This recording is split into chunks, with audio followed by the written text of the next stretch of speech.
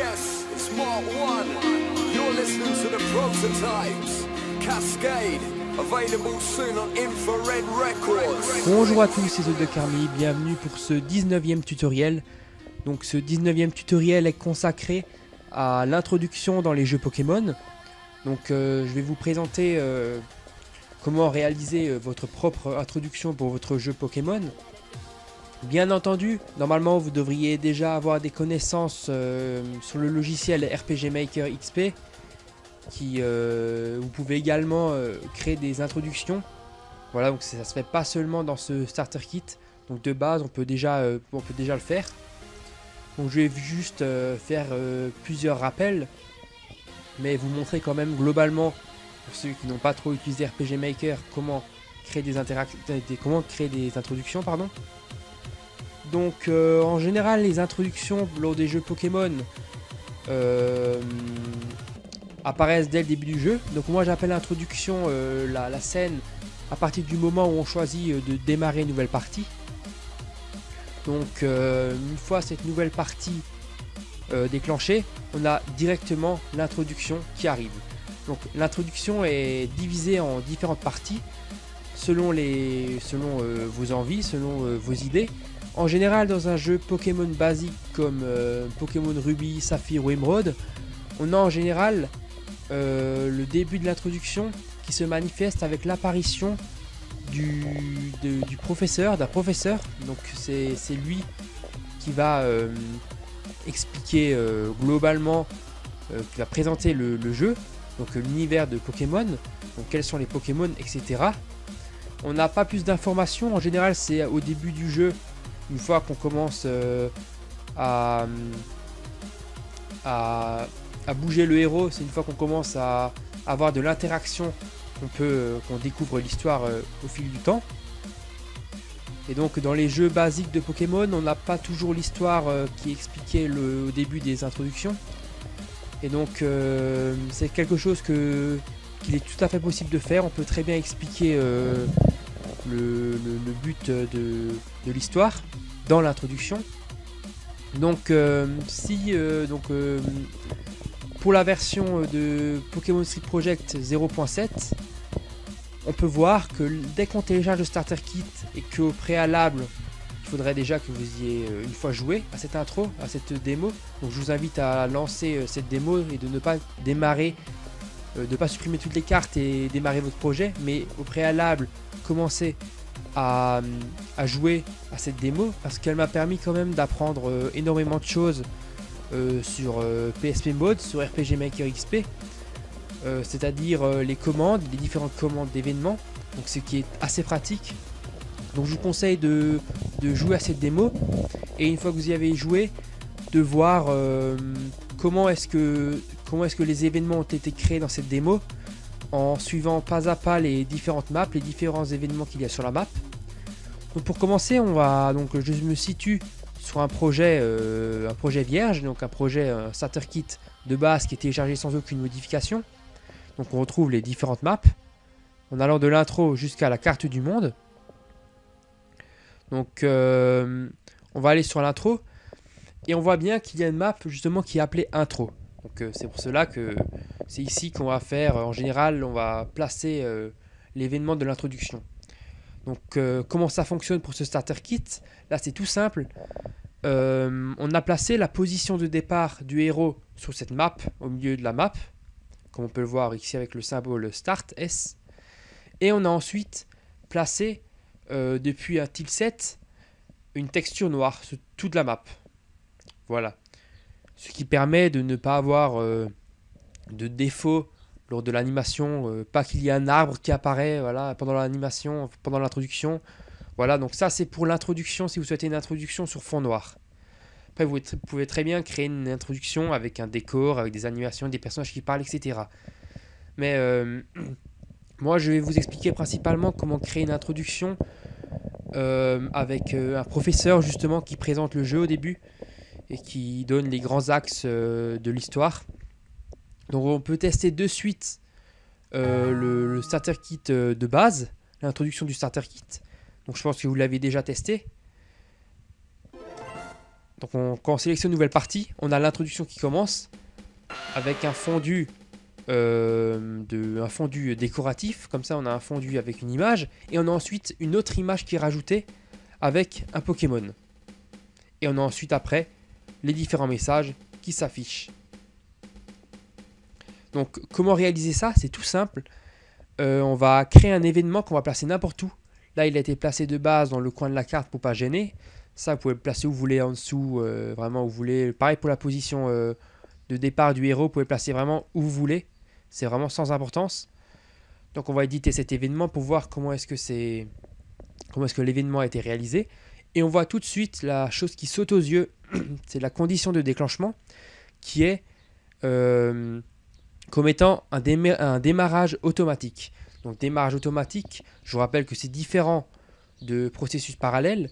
Avec processus parallèle, vous pouvez jouer pendant qu'un événement a lieu, alors que démarrage automatique, vous pouvez, euh, enfin vous ne pouvez pas bouger, vous ne pouvez pas déplacer votre héros, vous, ne pourrez faire aucune interaction tant que l'événement n'est pas terminé.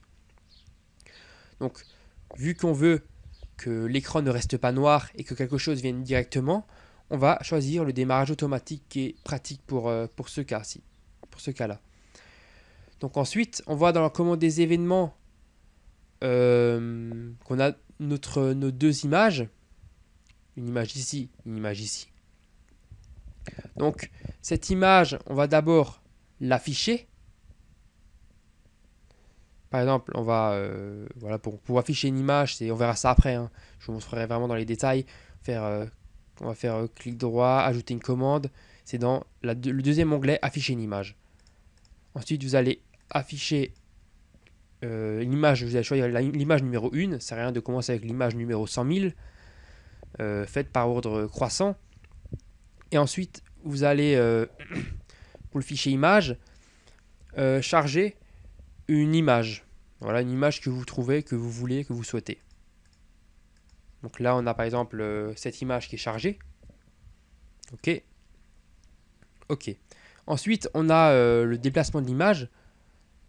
Donc euh, cette même image va se... On pourrait croire que l'image va se déplacer, mais c'est pas vraiment le cas en fait. C'est tout simplement pour... cette fonction sert justement ici à définir le temps de transition. Donc on a un fondu de 15 frames qui, fait apparaître l'image, donc euh, une image qui apparaît en, avec une transition euh, en fondu. Voilà. Et sinon, le reste, rien n'a été touché. Donc vous allez me dire comment est-ce que l'image est parfaitement euh, placée au milieu de l'écran, parfaitement cadrée dans l'interface, dans le jeu Pokémon? C'est tout simple en fait. Il suffit bien entendu en affichant l'image de cocher les coordonnées d'affichage en haut à gauche. À moins que vous voulez au centre, mais bon, le mieux c'est si vous, mettez, si on aura euh, le coin en haut à gauche de l'image qui sera au centre. Tandis que là, on aura le coin en haut à gauche de l'image qui sera placé en haut à gauche, ce qui est beaucoup plus logique. Donc ça, euh, c'est très pratique pour les images qui ont le format exact de la fenêtre du jeu. Donc qui, ce format, euh, je vous le rappelle, est de... Donc ça, on peut le voir dans Graphics, Pictures. On a là. Donc on le voit euh, en bas. Ce format qui est de 640 pixels x 480 pixels. Donc c'est euh, c'est très important de respecter ces coordonnées si vous souhaitez faire afficher une image en plein écran. Et puis donc voilà. Après on a une pause de 20 frames en attendant justement que l'image soit chargée. Ensuite, après une pause de 20 frames, qui va ensuite faire apparaître avec, euh, il me semble, nouveau une transition fondue, le, fichier euh, du image, l'image du, Pokémon, enfin du Pokémon qui est créé justement par, euh, par Krosk. Voilà. Donc l'image qui a le numéro 2, donc son identifiant le numéro 2. Donc ça, ça permet en fait de donner un identifiant pour chaque image comme ça, l'image numéro 1, on pourra l'agrandir euh, au bout de je sais pas combien de, de pages euh, de pages d'événements. Voilà. C'est très pratique pour les cibler. Donc là, c'est pareil pour la deuxième. On voit que le temps de transition est de 15 frames pour l'image numéro 2. Voilà. Annuler. Et donc, euh, je retourne vite fait là-dedans et on a vu qu'il y a un truc assez étrange. Je vais me dire pourquoi est-ce que les coordonnées de l'affichage de ce fameux Pokémon créé par Krosk n'est pas au centre? C'est tout simple, c'est parce qu'en fait, quand l'image a été créée, et on peut le voir euh, dans le dossier, quand l'image a été créée, elle a respecté les dimensions euh, d'un écran, d'un plein, les dimensions en plein écran. Voilà. Donc en gros, la résolution de l'image, c'est exactement la même que l'image qu'on a vue avant, l'intro exemple 0. Voilà. Donc on n'a pas besoin d'effectuer des modifications des déplacements du Pokémon. Si la résolution se serait limitée au Pokémon lui-même, donc autour de ce Pokémon, on aurait dû bien entendu centrer l'image. ok. Ensuite, on a une pause de 20 frames.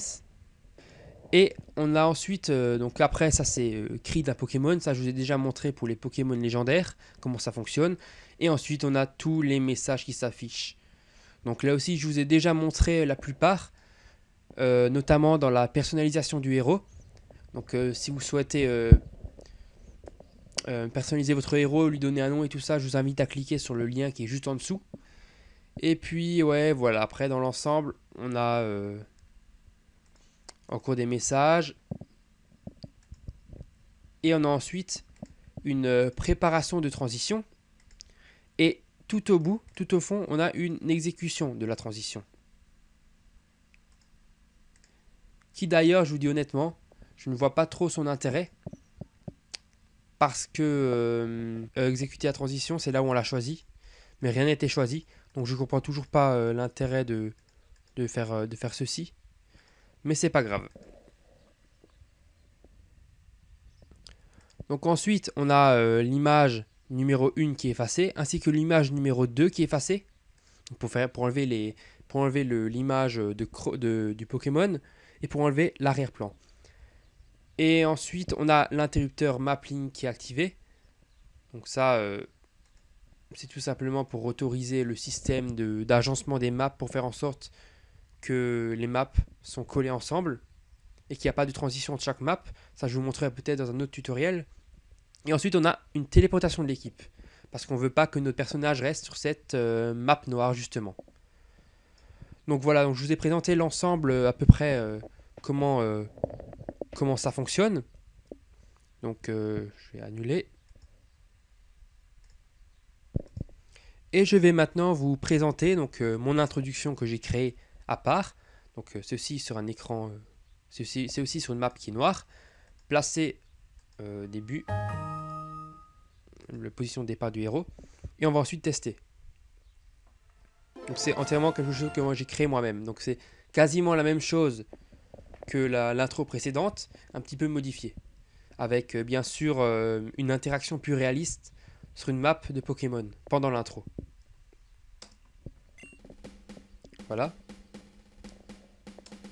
le professeur qui nous souhaite la bienvenue, qui nous demande si on est une fille ou un garçon. Donc c'est là où on peut choisir euh, le, sexe du héros. Donc bien entendu, pour le sexe du héros, il y a, euh, il y a juste l'apparence du héros qui va être modifiée. Parce qu'à la base, il n'y a qu'un seul héros dans l'histoire. Voilà. Donc en fait, on n'a pas le choix entre deux héros, mais on a le choix entre deux textures, si vous voulez. Deux apparences du héros. Donc là, on va dire qu'on est par exemple, euh, je sais pas, une fille et nous souhaite la bienvenue. Donc là, c'est euh, l'histoire euh, du jeu Pokémon. Donc le professeur raconte euh, ce qui se passe, que la plupart des Pokémon se font enlever et que la population ne peut plus se défendre.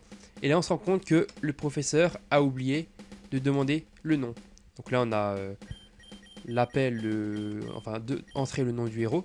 Donc je vais mettre D E J. Voilà, ça va vraiment ça, va, ça, va, ça va le faire. Très bien, je suis ravi de faire ta connaissance, voilà. Et ensuite on a le but de la mission, l'objectif pour le, pour le personnage. Et on a le professeur qui nous demande si on est prêt à, si on est prêt à, participer euh, à cette aventure. Donc si on dit non, euh, ça va nous ramener dans une boucle qui va nous obliger en fait à dire oui.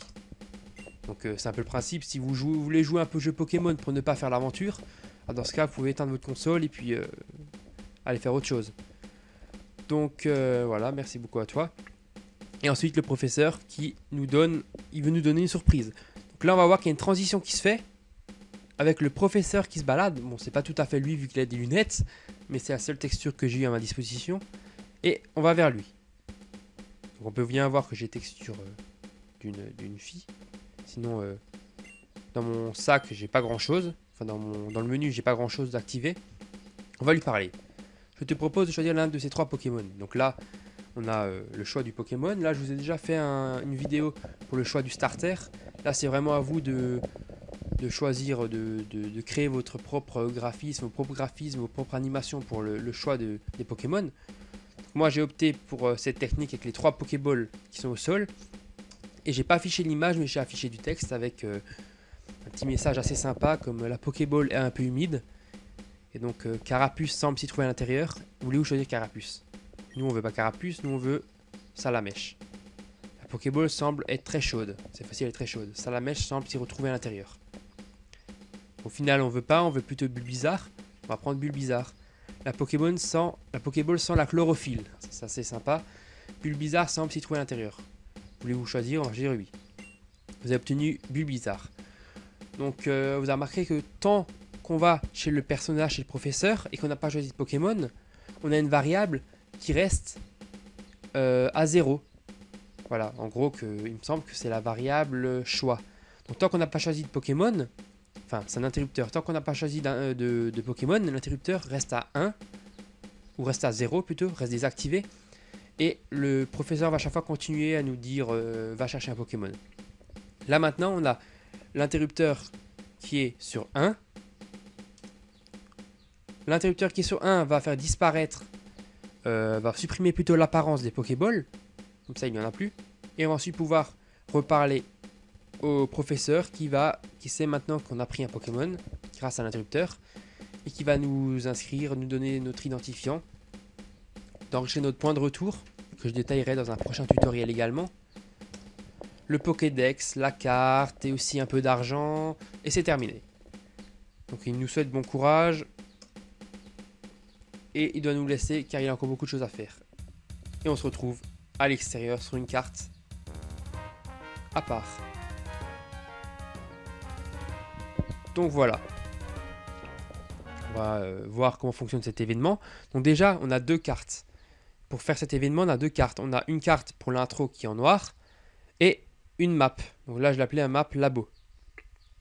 On va sur intro, on retrouve donc ce petit événement euh, en haut à gauche et on retrouve justement nos images avec l'arrière-plan et le, professeur, les, 20 frames que j'ai respecté aussi et les différents messages. Alors pour euh, la proposition pour la proposition euh, du sexe du personnage, euh, je vais vous montrer euh, la technique que j'ai utilisée. Donc déjà, on va commencer par euh, poser la question, puis proposer un choix. Donc entre, garçon et fille. Donc pour garçon, on va ajouter une commande, modifier l'apparence du héros, et on va choisir garder le héros numéro 1. Donc il faut qu'un seul héros dans la base de données, et on va modifier l'apparence sur la carte. Voilà. Et si nécessaire, modifier l'apparence en combat. Voilà, donc si c'est une fille, on va mettre euh, une autre apparence, mais j'ai pas d'autre apparence pour l'instant. Ok? Et ensuite, on va créer une nouvelle variable. Donc on va euh, modifier une variable. On va, on va prendre un champ libre. On va créer une nouvelle variable que j'ai appelée ici sexe. Et on va euh, la rendre égale à 1. Voilà. Donc pourquoi ça? Vous avez bien vu en dessous pour le choix de fille, je rends aussi égal la variable sexe à 2.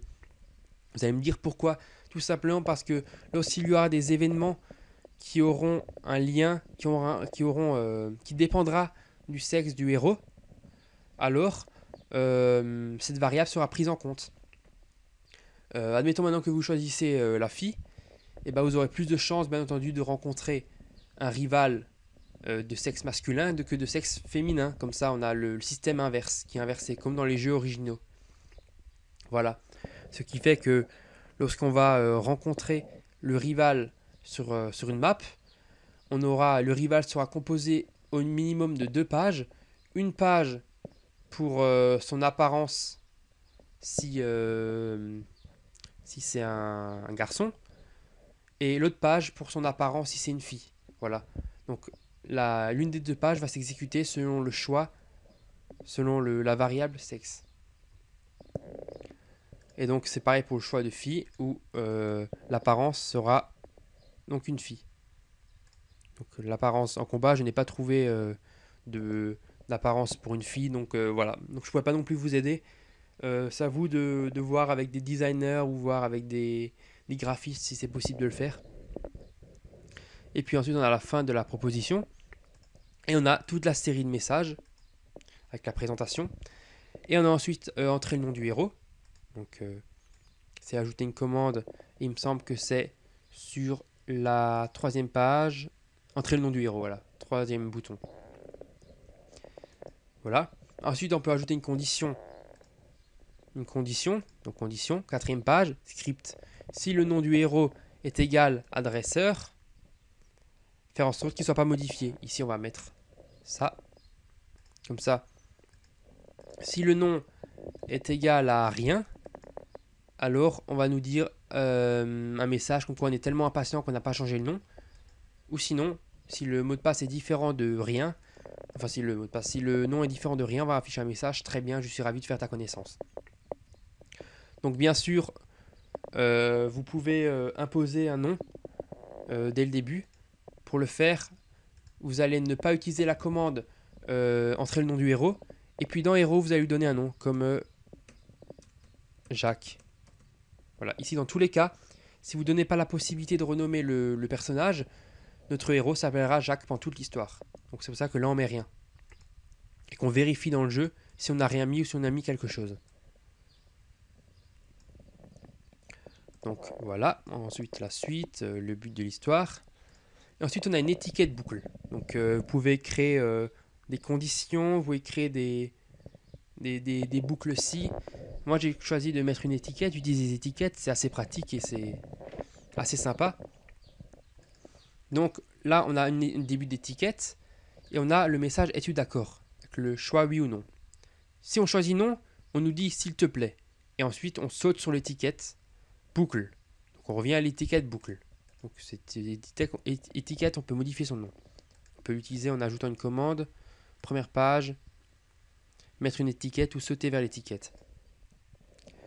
Donc euh, voilà, si on choisit oui, on a oh merci beaucoup, allez suis-moi.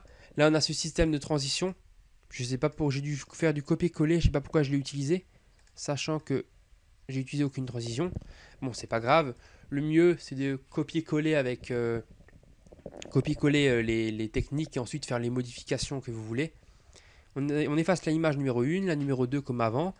On active le map link, j'ai préféré le faire en cas de problème. Et on téléporte l'équipe dans le labo. Donc la position exacte, c'est ici.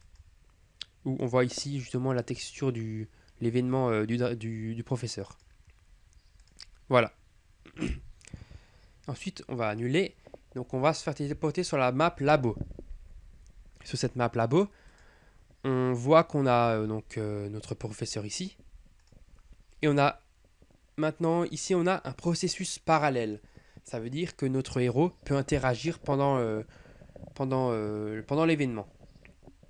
Donc pour cela, euh, je vais vous présenter donc euh, l'événement du, professeur. Donc on a sa, son apparence.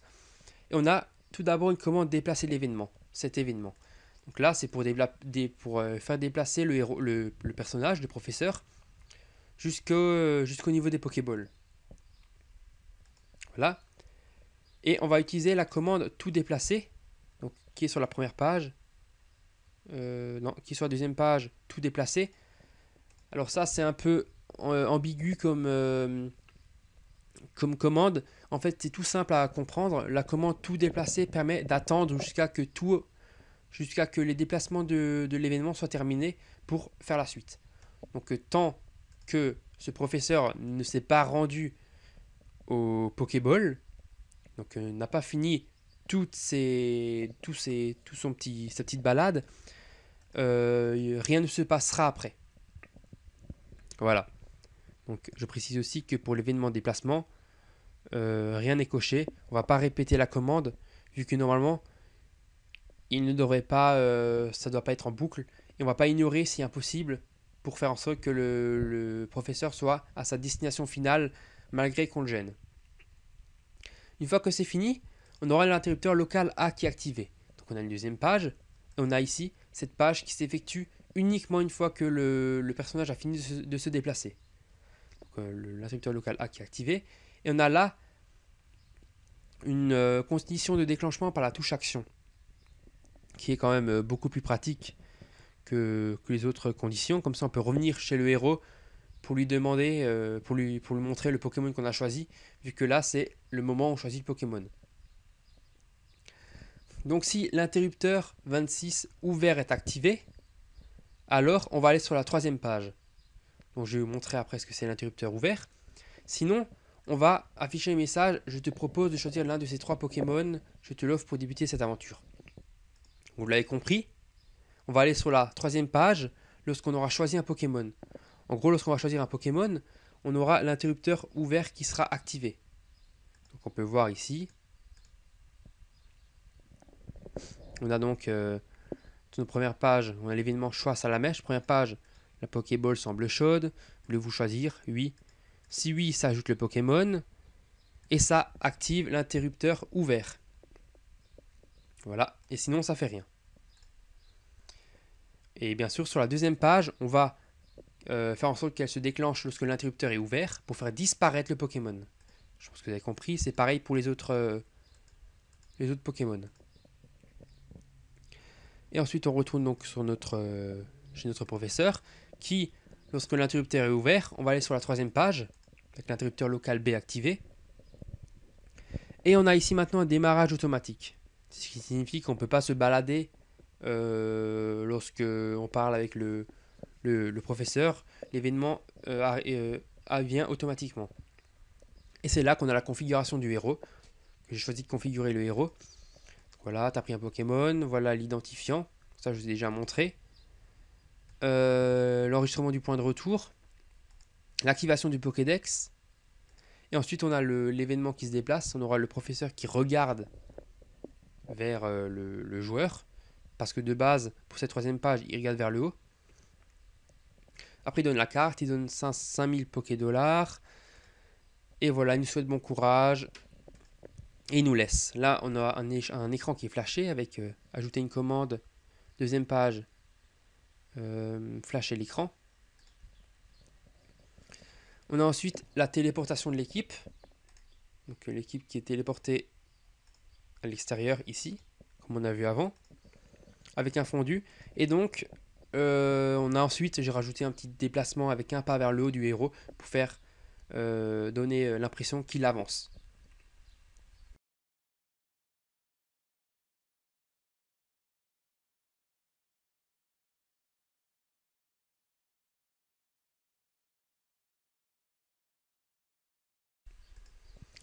Et puis voilà, c'est euh, terminé pour, euh, mon, pour euh, mon, introduction que j'ai fait. Alors après, vous pouvez aussi créer des introductions un peu plus sympas, comme je vais vous présenter maintenant. Donc c'est l'exemple de Gifrix Art qui m'a envoyé une vidéo de son introduction qui est franchement super. on croirait vraiment qu'elle provient d'un jeu d'un jeu Pokémon euh, développé par, euh, Nintendo. C'est très très réaliste. Donc voilà, je vous laisse euh, la regarder, la voici.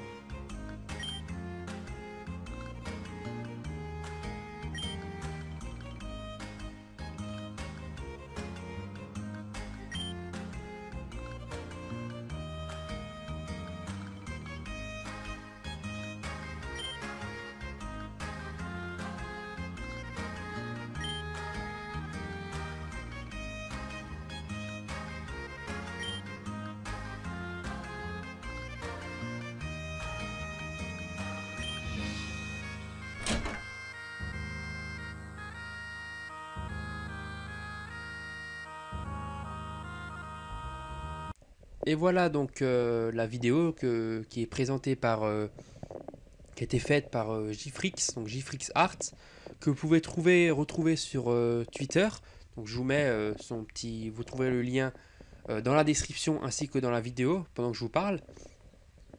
Et puis ça peut vous donner un peu des idées sur les, ce que vous pouvez faire comme introduction. Voilà, donc tout se joue dans l'apparition, dans l'affichage des images. Et puis, et puis, dans, le, puis dans les commandes avec l'affichage des messages. Et puis on peut faire des trucs vraiment super. Donc voilà, euh, ce tutoriel, je ne vais pas m'attarder là-dessus. C'est vraiment à vous de, trouver les choses à, de trouver des, choses euh, sympathiques à réaliser. Je vous invite à m'envoyer euh, votre introduction. si vraiment vous voulez la montrer, si vous en êtes fier, si vous voulez un avis, etc. Donc je me ferai plaisir. donc ça me ferait plaisir de, les regarder, de les lire. Donc voilà, en espérant que vous avez euh, quand même euh, pu apprendre de nouvelles choses grâce à ce tutoriel. Je m'excuse aussi pour euh, ce délai d'attente parce que, je veux dire, c'est ma chaîne YouTube. je ne peux pas passer mes journées sur ma chaîne YouTube. J'ai vraiment une vie à côté de ça. Et donc, avec les études et tout, c'est un peu compliqué de pouvoir réaliser des, des, tutoriels de façon hebdomadaire. Donc euh, j'essaie de faire mon maximum et puis voilà. Donc euh, ça m'a fait plaisir que vous avez regardé, que vous avez vu cette vidéo jusqu'à maintenant. Euh, n'hésitez pas à cliquer sur le pouce j'aime. Et puis, ouais, n'oubliez pas de laisser un commentaire pour me demander si vous avez des questions, pour, pour m'expliquer quels sont vos problèmes, ou tout simplement me féliciter, parce que ça fait plaisir. Juste un merci, ça fait plaisir. Et voilà, n'hésitez pas à, abonner, vous abonner à ma chaîne si ça vous, si ça vous plaît, si, euh, le contenu vous plaît. Et puis voilà. Donc euh, on se voit la prochaine fois pour le prochain tutoriel, le tutoriel numéro 20. Donc ça fait déjà 20, ça passe euh, super vite. Et pendant ce temps-là, je vous souhaite une bonne continuation dans votre projet. Voilà. Ciao ciao les gens